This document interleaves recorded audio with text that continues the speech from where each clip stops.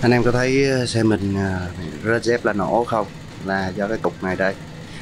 À, một phần là do cái cục này đây. À, ok. À, clip tiếp theo mình sẽ chia sẻ về cái cục à, à, cái cục kích này. Chào mừng anh em đã đến với tiết mục phá xe của người nông dân. Khi mà anh em bỏ vào xăng vô thì anh em có thể thấy được là nghiêng xe ba khoảng ờ, gần 40 độ nè và nó vẫn còn cái xăng ở trong này để đảm bảo cho cái việc hoạt động của động cơ ha. Đấy, anh nghiêng xe bên này nó vẫn còn đấy. Ấy thì chẳng bao giờ mà nó chảy xăng dư cả. Ê.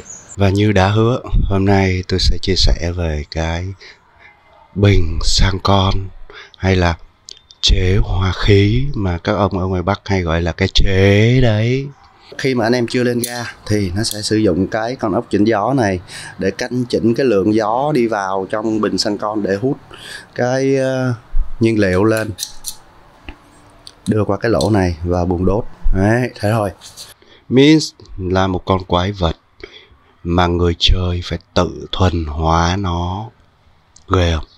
Nếu anh em muốn uh, biết thêm về những cái bệnh của xe min hoặc là cách tự sửa chữa rồi thay thế thì còn chờ gì nữa? Đăng ký cái kênh youtube của tôi đi.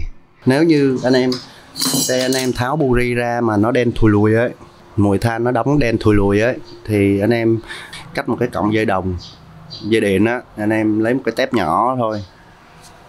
Thì anh em nhét vô đây.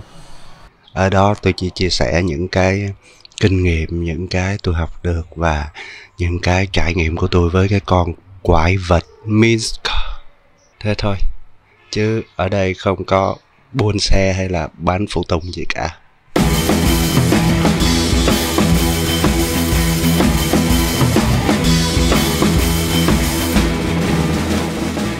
Suốt ngày anh rồi tháo xe, rồi tháo kiểu này riết chắc bán cho chai sớm quá.